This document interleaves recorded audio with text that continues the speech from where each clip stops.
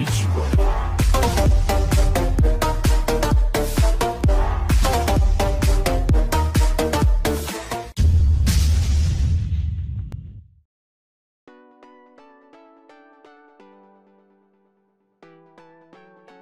chuột, dưa leo là món khoái khẩu của nhiều người. Chúng chứa nhiều vitamin, nhiều nước và còn là người bạn thân thiết giúp giảm cân hiệu quả nữa chứ.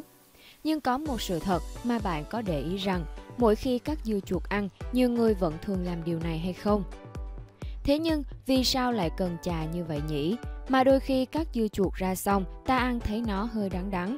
Phải chăng việc chà chà này sẽ khiến dưa chuột bớt đắng hơn?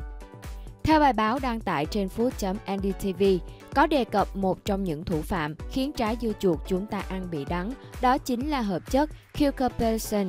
Hợp chất có nhiệm vụ làm lá đắng, tránh để động vật ăn. Thông thường, hợp chất cucurbitacin này tập trung ở lá, thân, rễ, nhưng đôi khi chất này cũng xâm nhập vào quả và trú ngụ tại phần cuống, gần vỏ, thi thoảng len lỏi vào giữa quả, Chính vì thế mà đôi khi bạn ăn phần đầu dưa chuột lại thấy hơi đắng đắng.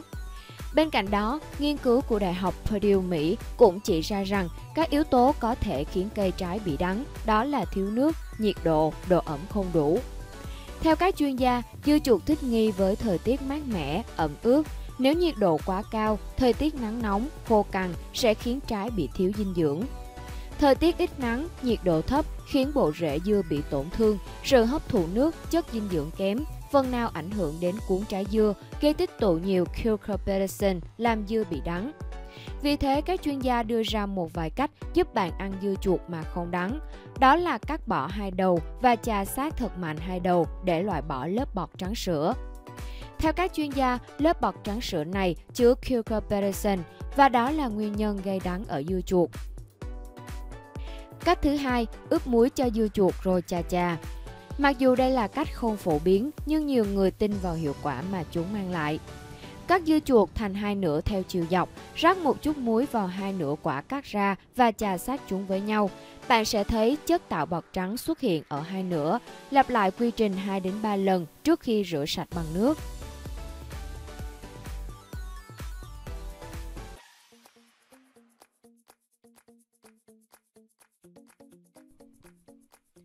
Mùa đông, ra khỏi giường mỗi sáng có thể trở thành cơn ác mộng với nhiều người. Làm thế nào để bạn thoát được sự cám dỗ của nệm ấm và chăn êm?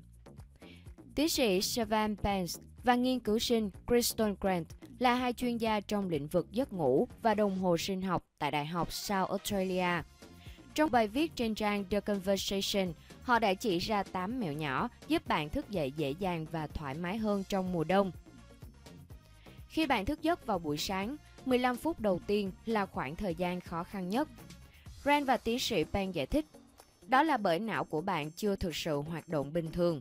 Hiệu ứng được gọi là quán tính giấc ngủ sẽ khiến bạn thấy mệt mỏi. Chính xác lúc này, một số phần của não chưa thể tỉnh, chúng vẫn còn chìm trong giấc ngủ. Quán tính giấc ngủ là thứ sẽ giúp bạn ngủ lại nếu chẳng may thức dậy trong đêm. Nhưng ở buổi sáng, nó gây ra sự khó chịu. Thậm chí, nếu bạn thức dậy đột ngột vì tiếng chuông điện thoại hay đồng hồ báo thức, quán tính giấc ngủ có thể ảnh hưởng đến khả năng nhận thức của bạn. Mức độ của quán tính giấc ngủ này bị chi phối bởi thời gian trong ngày, chất lượng giấc ngủ của bạn. Liệu bạn có mất ngủ hay ngủ sâu cỡ nào? Cho nên, nếu bạn đang cực kỳ khó khăn trong việc ra khỏi chăn vào buổi sáng, một giấc ngủ đủ dài và sâu vào đêm hôm trước là điều thiết yếu. Ngoài ra, quán tính giấc ngủ sẽ không cho phép bạn bật dậy ngay lập tức khi nghe chuông báo thức. Hãy cho mình một chút thời gian và áp dụng 8 mẹo nhỏ dưới đây. Tìm nguồn ánh sáng mạnh khi bạn thức dậy. Một nguồn sáng mạnh khi thức giấc có thể giúp bạn nhanh chóng thiết lập lại đồng hồ cơ thể và giữ nhịp sinh học đều đặn. Ánh sáng chặn cơ thể tiết melatonin, hormone thúc đẩy cảm giác buồn ngủ. Khi mới thức dậy, bạn có thể bật điện trong phòng hoặc để nắng tràn vào giường. Bí quyết để giữ nhịp sinh học cho cơ thể và cải thiện sức khỏe đơn giản chỉ là tiếp xúc với một nguồn ánh sáng rực rỡ vào buổi sáng khi thức dậy. Đừng phơi mắt dưới ánh sáng mạnh vào đêm hôm trước. Ngược lại, quá nhiều ánh sáng vào ban đêm có thể làm cho giấc ngủ khó khăn. Như đã nói, ánh sáng mạnh ngăn cơ thể tiết hormone melatonin gây buồn ngủ. Đây là lý do tại sao các nhà khoa học khuyến cáo bạn không nên sử dụng các thiết bị như điện thoại di động, máy tính bảng hoặc máy tính sách tay trên giường trước khi ngủ. Không ăn hoặc uống trong vòng 2 tiếng trước giờ đi ngủ. Ăn một bữa ăn lớn quá gần giờ đi ngủ có thể gây áp lực lên cơ vòng thực quản, các cơ ở cuối thực quản, ngăn axit và dạ dày di chuyển ngược từ dạ dày lên họng khi bạn nằm xuống. Điều này có thể gây ra chứng ở nóng, một nguyên nhân làm phiền giấc ngủ. Ăn bữa chính cuối cùng của bạn ít nhất 2 đến 3 giờ trước khi đi ngủ sẽ bảo đảm thức ăn được tiêu hóa và giảm áp lực lên cơ vòng thực quản. Ngoài ra uống nhiều nước trước khi ngủ cũng không tốt bởi nó có thể khiến bạn phải thức dậy giữa đêm để đi vệ sinh. Không uống bia rượu ít nhất 4 giờ trước khi ngủ. Rượu có thể làm bạn cảm thấy buồn ngủ và dễ chợp mắt hơn, nhưng câu chuyện xảy ra sau đó không tốt. Uống đồ uống có cồn quá gần giờ đi ngủ cũng có thể làm gián đoạn giấc ngủ buổi đêm của bạn. Quá trình trao đổi chất để phân giải cồn trong suốt giấc ngủ thường đánh thức bạn dậy vào ban đêm, gây đổ mồ hôi, ác mộng, đau đầu và giảm chất lượng giấc ngủ cho đến tận gần buổi sáng. Lời khuyên là bạn nên tránh uống rượu ít nhất 4 giờ trước khi đi ngủ.